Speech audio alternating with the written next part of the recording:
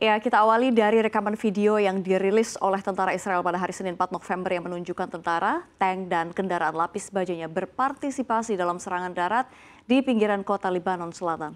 Reuters tidak dapat memverifikasi lokasi dan tanggal video secara independen, namun Kementerian Kesehatan Lebanon menyebutkan korban tewas akibat serangan Israel di Lebanon kini telah meningkat menjadi 2.986 dan jumlah yang terluka menjadi 13.402 sejak Oktober 2023 termasuk 18 orang tewas dan 83 orang terluka dalam 24 jam terakhir.